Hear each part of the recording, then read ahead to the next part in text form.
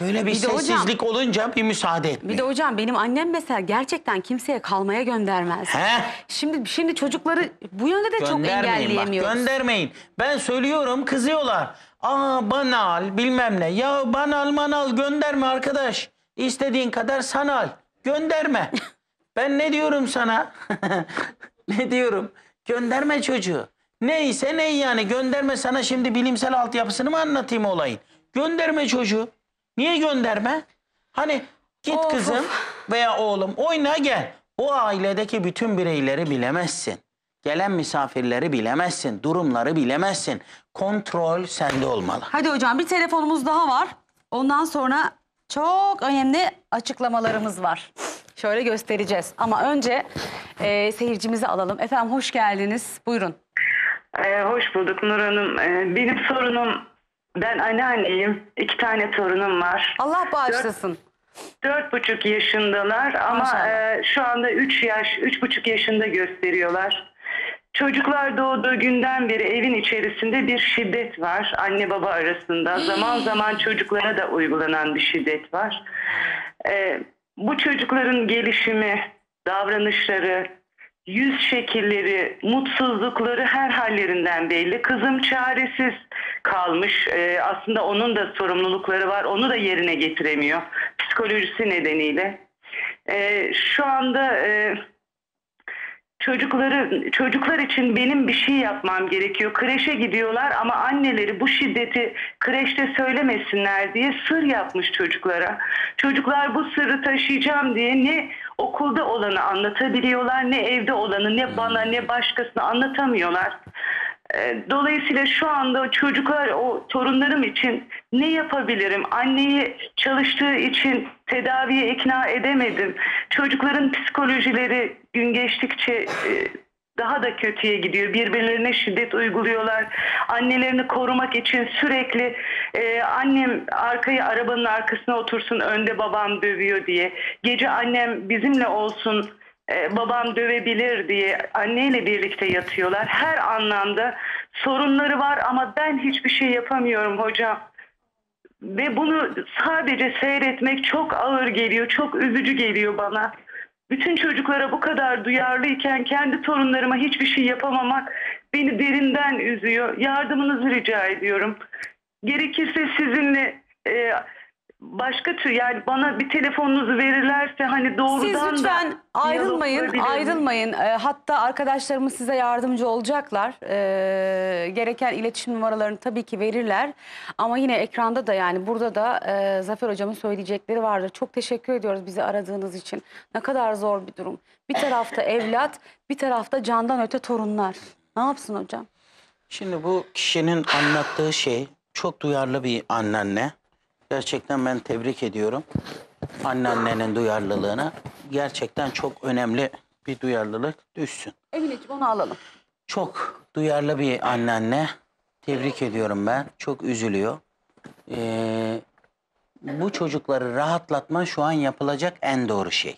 Yani anneyi babayı biz ikna edemiyorsak ikna etmenin bazı yolları olabilir. Bunun görüşme şeklinde ama şimdi televizyonda vereceğim tavsiyelerden en birincisi şu olabilir. Anneanne çocukların kendisine her şeyi anlatabilecekleri, onlara böyle şefkatli yaklaşarak onları hani psikolog gibi böyle bir rahatlatıcı etki yaparsa çocuklar içinde birikim yapıp karakterleri zarar görmez bu işte. Şimdi bak kural bir. Anne baba çatışıyorsa çocuk zarar görür ama yanında böyle bir duyarlı annen ne varsa çocuk sıyırabiliyor. Sıyrıklarla atlatabiliyor. Niye? Çocuğa o sevgiyi, o şefkati, o güveni verip anneanne ya da babaanne ben böyle babaannelerde gördüm anneannelerde anne babadan daha anne baba. Tabii. Böyle kişiler gördüm. Ee, bu çocuğu anlattırarak, konuşturarak, onu rahatlatarak böyle bir psikolog gibi, e, pedagog gibi işte neyse bu çalışmaları yaparak çok büyük çocuğa olumlu etkisi olabilir. Ee, bu arkadaşımızla sonra başka televizyonda söyleyemeyeceğim bazı yöntemler daha var. Hocam Şimdi bunları şunu şimdi tek anlatayım. tek anlatacağız. Şimdi Çok bak ağır çocuğa- da tutamadım. Şöyle yan koysana bak. Yere Böyle ucunu koyayım? değdir. Tamam, peki. Hayır hayır yere değdir ucunu. Heh. Ben tek tek alıp göstereyim. Bak. Şimdi çok önemli. Bakın burada yine çocuğumuzu e, güçlendiriyoruz. Ve görsellerle anlatacağız bunu. Lütfen burayı da can kulağıyla dinleyin. Burada ne yapılamaz? Ne, ne Bakılamaz. anladınız? Bakılamaz. Ne yapıyor çocuk? Çocuğum tuvaletteyken, tuvaletini yaparken kimse ona bakamaz. Bunu çocuğun beynine işleyeceksiniz. Mümkünse bu görselle beraber bunun gibi. Ee, nasıl yapacaksınız? Mesela çocuk tuvaletini yapıyor, anneyi çağırıyor ya. Böyle bakmıyormuş gibi. Hani böyle bakmıyorum ben sen yap. Anne ama bak burada bir şey tamam az bakıyorum hadi gibi. Yani bunu bakmanın Yanlış bir şey olmayacağını anne bile olsa hafif bakabilir ama başkası asla. Bunu da siz bakarken söyleyin. Bak ben annen olarak biraz baktım yardımcı olmak için ama başkası asla, Asla. tuvalette bakamaz. Çünkü çocuklar anaokullarında özellikle uyarıyorum. İlkokullarda çocuklar geliyor. Hadi gel beraber tuvalete gidelim. O ona gösteriyor, o ona gösteriyor. Birbirlerine bir şeyler yapıyorlar. Daha kötü şeyler duyuyorum ben. Karşılaştığım çok kötü şeyler var. İlkokul dördüncü sınıftaki bir çocuk birinci sınıftaki bir çocuğa taciz edebiliyor. Anlatabildim mi? Belki kötü niyetli değil ama işte bak çocuk çocuğa çok daha büyük zararlarının olduğunu gördüm ben. O yüzden dayısının oğlu, teyzesinin oğlu, amcasının oğlu tuvalet konusu önemli. Tuvalet konusu önemli. Bak altını çiziyorum. Aynı anda iki çocuğu birine banyo yaptırıp diğerine anneler toptancı bizim. Gir banyo sen banyonu yap. Tabii bak, gir banyonu yap yavrum. Sen de tuvaletini yap. Hadi bakmayın birbirinize diyor. Adam yanında tuvalet yapıyor. Anneler toptancı mı? Tabii. Yani aynı anda bir kere de mevzuyu halledeyim diye. Tüm çocukları. Ama bir Anlatabildim mi? şey söyleyeceğim. Doğru söylüyorsun. Arkanızı dönerek yıkanın birbirinize Evet. bakmadan. Aynı anda banyoya sokan anneler var. Çırılçıplak. Bu doğru değil. Çocuklara iç çamaşırsız banyo yaptırmayın. Sonra en son yapsın yapsın yıkansın yıkansın en son orayı e, yıkasın o bölgeler. Onu da iç çamaşırı çıkarttırır. Ya bir usul geliştirin. Çocuk mahremiyet kural, kurallarını. Görsün, değil mi? E, tabii özel bölgelerinin kendisine ait olduğunu, kendisinin görebileceğini bilsin. Peki. İkinci olarak İkinci olarak bunu çocuklarımızın göstereyim. emniyeti konusu. Bak bu ne biliyor musun? Çocuğun güvenli bölgesi dedik ya. Sizin olmadığınız yerde güvenli bölge. Polis amcanın yanı ya da öğretmeninizin yanı. Öğretmenin yanı. Bunu tanımlamanız lazım. Bu ne zaman gerekli biliyor musunuz bu? Çocuğun özel bölgelerine biri dokunduğunda ne yapacak çocuk? Eğer çevrede kimse yoksa çocuğa asla bağır telkini vermeyin. Tabii. Gerçekten mi? Tabii. Çocuğun başına iş getirir o yapan kişi. En kaygıdan panik yapar, orada çocuğa zarar verir. Çocuğa mümkün olduğu kadar hızla kaçsın. Yani şunu yapın ya. Şakayla biri göğsüne dokundu ya çocuk vın kaçsın oradan. Benim özel bölgenime dokunamazsın diye bağırsın, çığlık atsın, kaçsın hemen. Ha öyle tamam. Tabii. Ama güvenli bölgeye gitsin. Güvenli bölge nereydi? Annenin yanı. Anne yok okulda. Öğretmen. Annenin yanı. Eğer anne olmadığı zaman öğretmen, polis, polis. güvenlikçi gibi. Anlatabildim mi? Kalabalık ortamlarda. Anlatabildim mi? Ama şunu bir dakika hocam şunu şöyle tutalım mı? Ama şunu söyleyelim çocuğunuza diyelim ki birisi böyle bir istismarda bulunuyor. Derhal eee, bağırarak oradan uzaklaşmasını Ve söylüyoruz hemen gelip anlatmalı bak. Hemen gelip anlatmalı. Sır yok.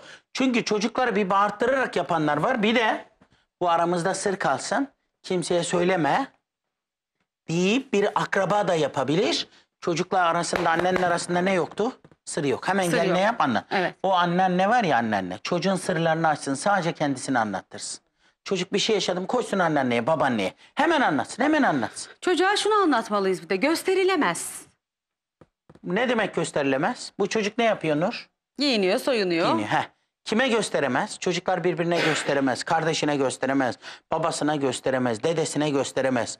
Aç bakalım yavrum görelim nasıl büyüdü mü? Birisi diyor bir akraba amcasının oğlu diyor. Gösterilemez. Bunu çocuğun bilinçaltına işleyeceksiniz. Ama bunu bak deneyimsel öğrenme. Çocuğa göstereceksiniz. Hadi bakalım ben şimdi birisiyim. Yabancıyım. Annen dışında birisiyim. Babasından tiyatro yapmanız lazım. Çocuk sadece öyle öğreniyor.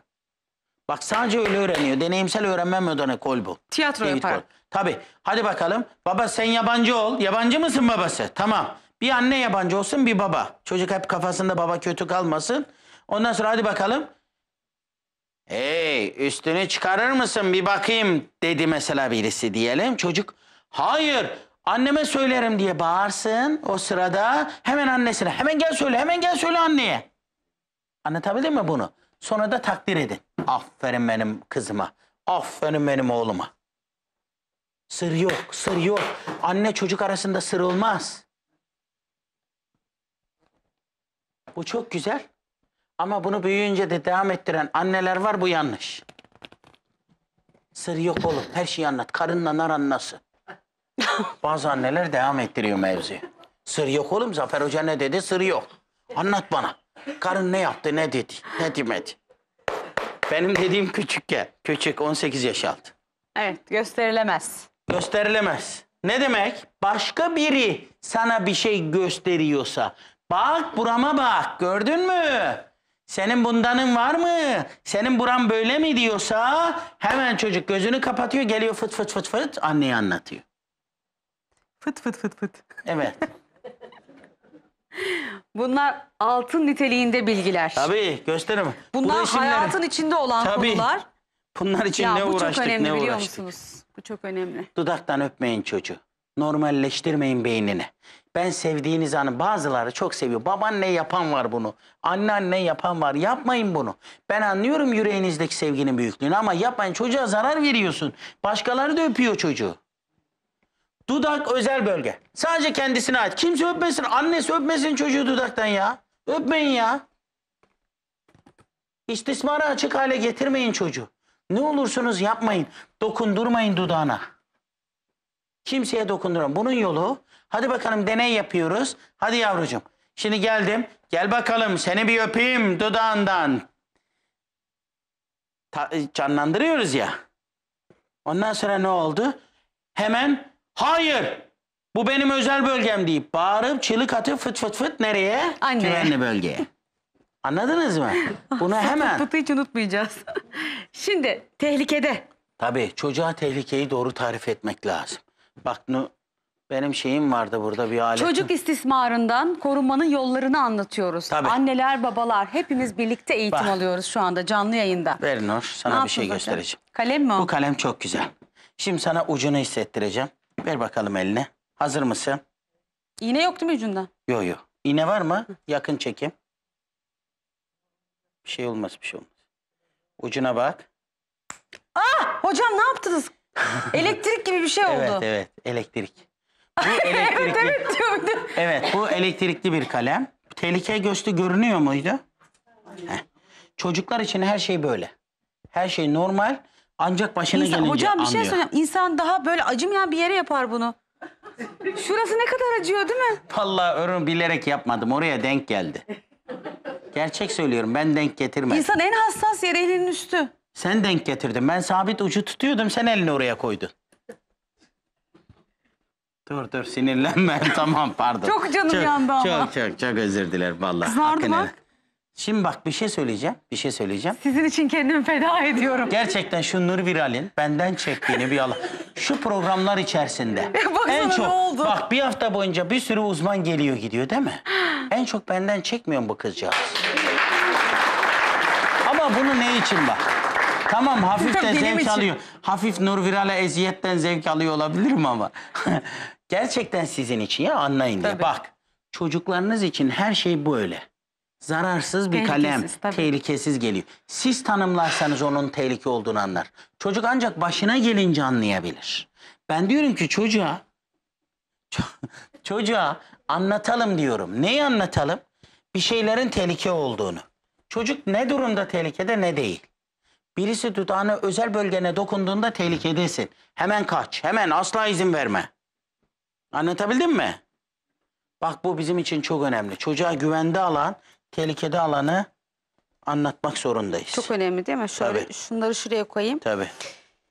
Evet yine Gösterilemez. Sana birisi bakayım dediğinde de gösteremez. Bak bakar mısın dediğinde de gösterilemez. Bu ablası da olsa, kardeşi de olsa, amcasının oğlu da olsa, babası da olsa yapılamaz. ya da biri gizli gizli bakarken yakaladığında da Yapılamaz. yapılamaz. Bu da çok Lütfen önemli. bura çok önemli.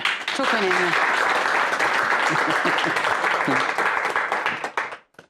Bu çok güzel ya. Bu var ya. Öyle sulu sulu gereksiz şakalar yapılıyor ya. Bunu bak iki tür şaka var. Gel seninle bir oyun oynayalım mı? Ne hocam? Hangisi? Gel. Gel seninle şimdi birazdan bir oyun oynayalım. Kurt var ya, kırmızı başlıklı kız da. hey çocuk, gel buraya. Tamam mı bak böyle. Çocuğa birisi gelip senden saklambaç gizli bir şey oynayacağız. Sakın annene söyleme bunu gibi. Yum gözlerini. Yum göz. Ne diyeceksiniz? Çocuğa bunu canlandırttırın. Biri sana derse ki gözünü yum anneye söyleme yok. Hemen hemen çığlığı bas. Koş nereye? Güvenli bölgeye. Fıt fıt fıt anne. Annenin ya. Hemen hemen hemen. Koş söyle. Ve şaka da yaptırtmayın. Gel şakadan biz birbirimize böyle yapalım. Şöyle yapalım. Şunu şöyle edelim. Bunu böyle edelim. Asla. Şimdi iki şey var ki bu da çok önemli. Bakılamaz. Banyodayken banyoya birisi girememeli. Bunu bizim annelerimiz yapıyor. Banyoda bir şey unutuluyor veya bir şey kalıyor. Hemen hadi oğlum kardeşin yıkanıyor sen içeri git oradan şunu al getir diyor. Sakın çocuğu bozarsınız bak. Bakılamaz diye tarif ettiğiniz şeyi baktırtmayın. Şu karanlık bakış olmamalı. Hiçbir şekilde çocuğu izlemeyin giyinirken ya bakmayın ya. Giydikten sonra bakın olmazsa düzeltin müsaade eder misin? Hadi bakalım bunu böyle edelim diye. Bak yine tuvalet. Bu da kız çocuğu versiyonu. Yapmayın. Çocuğun o bölgesine. Ya bizim bu nasıl şakalarımız var? Poposuna vurarak sevme şakaları, bir yerlerini sıkıştırarak sevme şakaları. Yapmayın bunu ya. Yapmayın bu çocuklara. Yapmayın, alıştırmayın çocukları. Video izletmeyin çocuklara böyle. Ben bir şeyde daha üzülüyorum. Bebeklerin de böyle çırılçıplak videoları doğru gelmiyor bana. Doğru gelmiyor. Mesela bebekleri de dudaktan öpmek. Bu yanlış diyorum ya. Yanlış. Senin ağzın pis ya. Öpme ya. Niye pis diyorum biliyor musun? Kirli diye demiyorum. Bebek çok hassas bir varlık ya. Yani daha kendi mikroplara aşırı duyar. Öpme ağzını yüzünü. Ne öpüyorsun yani?